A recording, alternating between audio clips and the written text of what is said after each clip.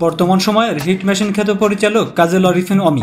তার নির্মিত serial bachelor point পেয়েছে তুমুল জনপ্রিয়তা। তারই ধারাবাহিকতায় বর্তমান এর চতুর্থ সিজন প্রচার চলছে। শুধু তাই নয়, অমি এখন পর্যন্ত যতগুলো সিঙ্গেল নাটক নির্মাণ করেছেন, সেগুলোও দর্শকপ্রিয়তা পেয়েছে। আর এ কারণে হিট মেশিন তকমা পেয়ে গেছেন তিনি। তিনি যা বানান, তার সবই সুপার ডুপার হিট। এদিকে সম্প্রতি কক্সবাজারে ব্যাচেলার পয়েন্টের নতুন লটের শুটিং শেষ করে ফিরেছেন অমি। সিরিয়ালটির ঘটনায় নতুন মোড় নিবেও নানান চমক থাকবে বলেও জানালেন নির্মাতা। তবে এবার নতুন চমক নিয়ে আসছেন। প্রথমবারের মতো ওয়েব সিরিজ নির্মাণ করতে যাচ্ছেন তিনি।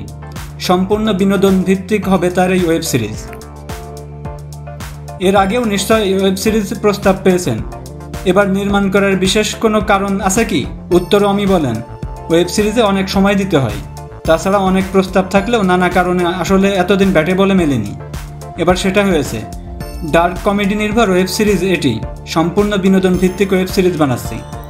কারণ এখন দেখা যায় বেশিরভাগ ওয়েব সিরিজ থ্রিলার কিংবা সিরিয়াস হয়। আমি সেদিক যাচ্ছি না, কারণ আমার কাজটাই দর্শকদের এন্টারটেইন করা।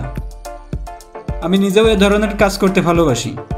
ওয়েব সিরিজের শুটিং কবে আর কোথায় হচ্ছে, এমন প্রশ্নের উত্তরে অমি বলেন ঢাকা ও এর বাইরে শুটিং হবে, নভেম্বরের মাঝামাঝি থেকে।